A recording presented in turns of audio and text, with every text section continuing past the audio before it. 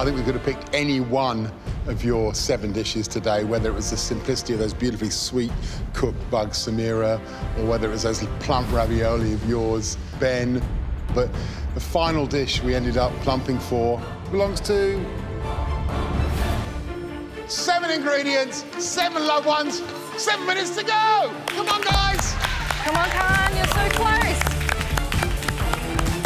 I'm really happy with the flavour of that. Uh, a little bit more salt. The Coriander's coming right through. Maybe how's your sauce now? Sauce is good, baby. I've changed my dish from a continental dish to an Asian dish, which has flavors that are very close to my heart. Good. Now it's good.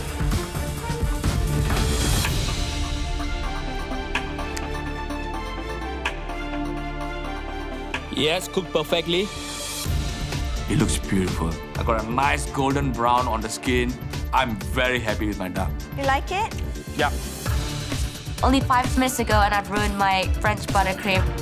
Just gonna make a simple coffee chantilly cream and hopefully that works out. It's not as good as the French buttercream, but it's better than nothing. Hopefully it turns out okay. Chantilly cream is basically cream and sugar whipped up together and you just get this nice smooth texture. Just put a little bit color or something, Jess. It's too plain. Yes, Mum.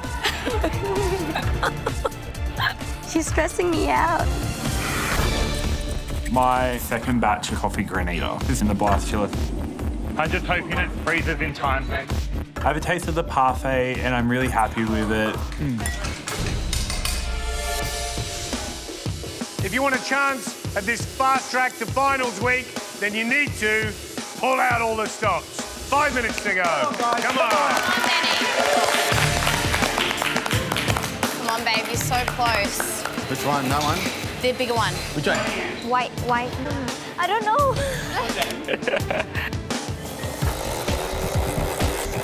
I want the judges to taste the really richness of that dark chocolate semi-freddo with a hint of coffee, and I want that creaminess of the coffee chantilly cream to kind of cut through that bitterness. Oh, yum. Does it smell good? It smells so yum. I definitely think I've done enough to make my little sister proud. Um, the dish that I made today is based on a dish that Mum makes for us all the time, and if Amy tasted it, she would know exactly that. Now I've got my ravioli cooking. The ravioli has good coriander and chili in it, and the lemongrass broth is really punchy. 30 seconds! Everything looks good, you know, it looks like something that I want to eat, and hopefully I get tasted. I'm being very gentle with the bugs. Um, I can feel that the meat is very delicate and the burnt butter. It smells beautiful. They know it's delicious. Final touches! Ten seconds. Nine, eight, seven, six, five, four, three, two,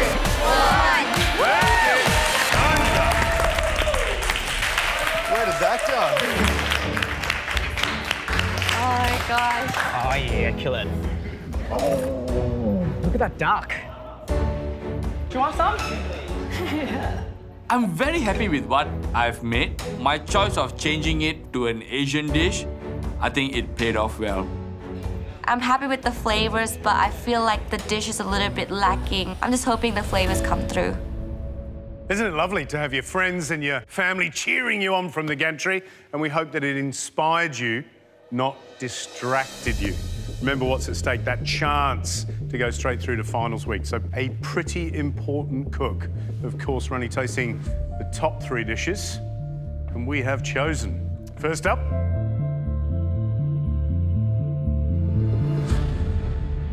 Sashi.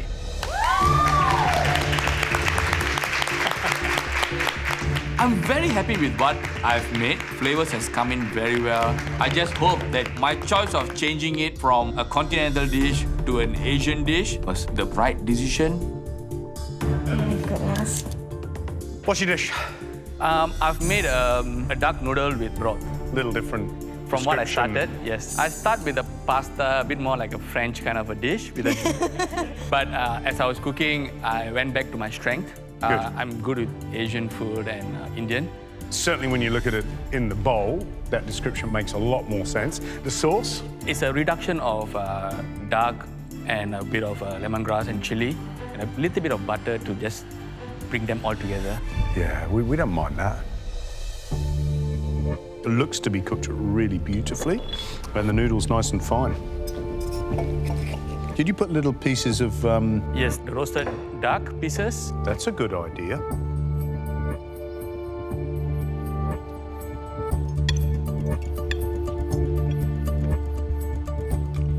Keep some for me. It is absolutely spot on. I love it. The chili, the lemongrass, the coriander, and butter in a sauce. it's, it's delicious. Um, and the noodles, a lovely texture. They've got a beautiful spring to it. And of course, the duck's cooked perfectly. Thank you. His skills have grown so much, haven't they? Amazing job, Sashi. Well done.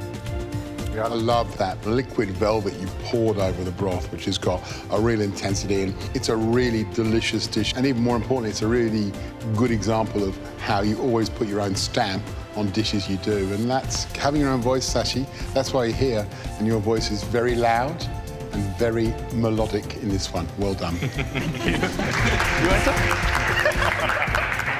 the judges love my dish. I'm very happy. I'm sure I made my wife very proud. The next dish we'd like to taste belongs to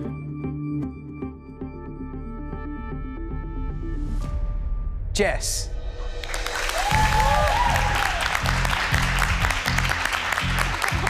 I can't believe my name is called out today. I didn't think my dish would be good enough for a top three dish, but I'm so happy. Jess, what have you cooked? Um, it is a chocolate coffee semi-freddo with a coffee cream and crystallized coffee. Awesome. Your mum brought the uh, chocolate. She did. mum, what do you think? I've never tasted that one before, but it looks nice. Nice presentation, and I like the simplicity. And I like the idea of the little coffee praline.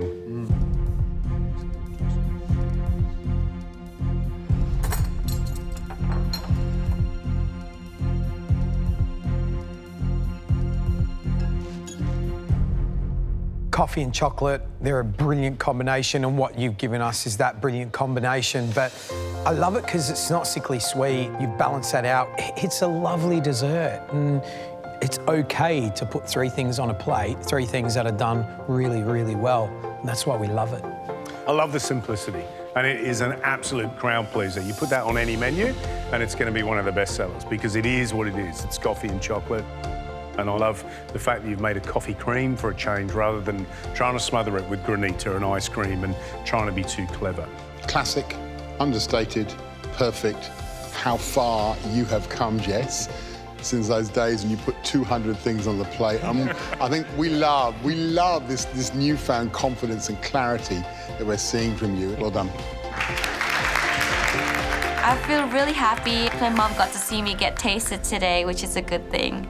We love tastings like today, but I think you were all lifted by having your loved ones in the building because really, I think we could have picked any one of your seven dishes today, whether it was the simplicity of those beautifully sweet cooked bugs, Samira, or whether it was those plump ravioli of yours, Ben. But the final dish we ended up plumping for belongs to... belongs to Reece.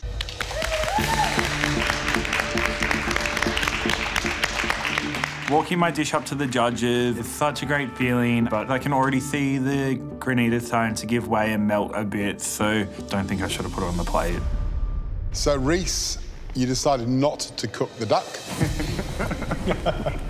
Sorry. and what did, what did you make instead? Um, I made a coffee parfait. Um, I did a coffee tuile.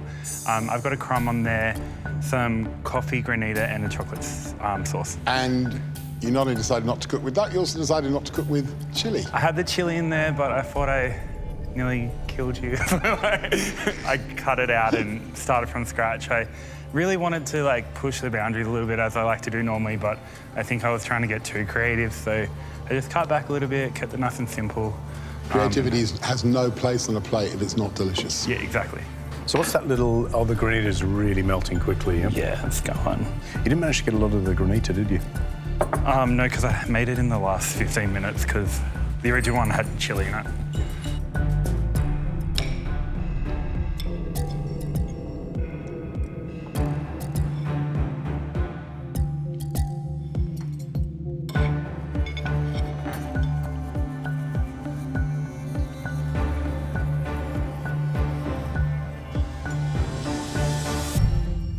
I love duck.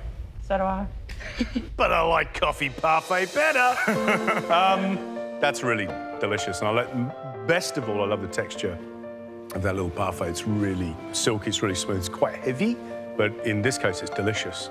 And the cleverness of that little crisp shard of praline is really wonderful. I, I, love it. And for me, I don't, I don't need the granita. In fact, the fact that the granita's melted into this lighter syrup is, is quite delicious.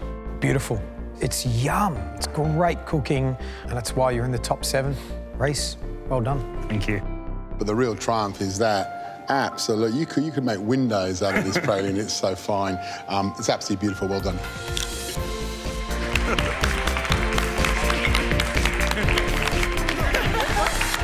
oh.